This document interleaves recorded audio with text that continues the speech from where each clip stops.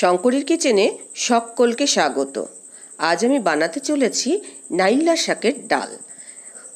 আমার চ্যানেলটি এখনও যারা সাবস্ক্রাইব করেননি, তারা অবশ্যই সাবস্ক্রাইব করুন আর পাশে থাকা বেল আইকনটি অবশ্যই ক্লিক করুন, যাতে আমার নতুন কোনো রেসিপি আপলোড করলে সবার আগে নোটিফিকেশন আপনার কাছে পৌঁছে যায়। আর লাইক, শেয়ার, কমেন্টস করতে কিন্তু একেবারে ভুলবেন না। আমার তৈরি এই নাইলা শাকের ডাল কিন্তু দারুণ খেতে হয়েছে।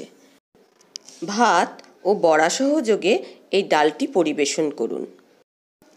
আমি এই বড়ার রেসিপিটা আমার ডেসক্রিপশন বক্সে দিয়ে দেব। প্লিজ চেক করে নেবেন। অনেকে মনে করছেন এই নাইলা শাকটা আবার কী জিনিস?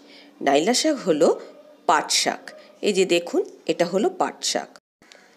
পাট শাকের একাটি থেকে যে পাতাটা বেরিয়েছে, এই পাতাটাকে আগে ধুয়ে নিন। তারপরে সেই পাতাগুলোকে মিহি করে কেটে নিন। এবার মটর ডাল ধুয়ে এক কাপ প্রেশার কুকারে দিন এবং তার সঙ্গে পরিমাণ মতো জল দিন। দিয়ে দুটো সিটি দিয়ে প্রেশার কুকারটা নামিয়ে রাখুন। এবার কড়াই গরম হলে তিন চা চামচ সর্ষের তেল দিন ও দুটি গোটা শুকনো লঙ্কা ফোড়ন দিন। শুকনো লঙ্কাটা একটু ভাজা হলে কালো জিরে হাফ চা চামচ ফোড়ন দিন। আর দিন পাঁচ থেকে ছটা রসুন কুচি করে কাটা। এবার এগুলোকে বেশ ভালো করে ভাজা ভাজা করুন। একটু ভাজা ভাজা হলে যে আমি কেটে রেখেছিলাম যে পাট শাক, সেই পাট শাকটা এর মধ্যে যোগ করুন। পাট শাকটা এই ফোড়নের সঙ্গে একটু ভাজা ভাজা করে নিন।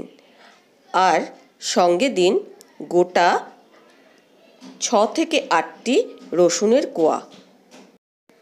পাট শাকটা ভাজা ভাজা হতে থাকুক। এদিকে দেখুন প্রেশার কুকারের সিটি খুলে গেছে আর ডালটাও বেশ ভালো সেদ্ধ হয়ে গেছে। এবার এই ডালের মধ্যে পরিমাণ মতো জল দিন।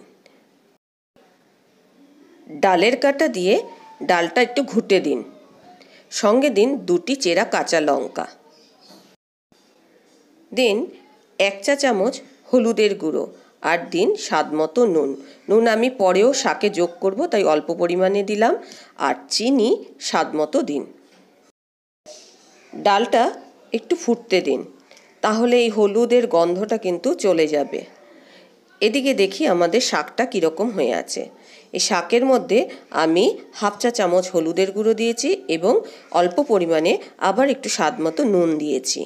আর এইবার আমি এই ডালটা যে ফুটে উঠেছিল, সেই ডালটা আমি এর মধ্যে যোগ করলাম। একটু ভালো করে ফুটলে আমি এটাকে পরিবেশন করব।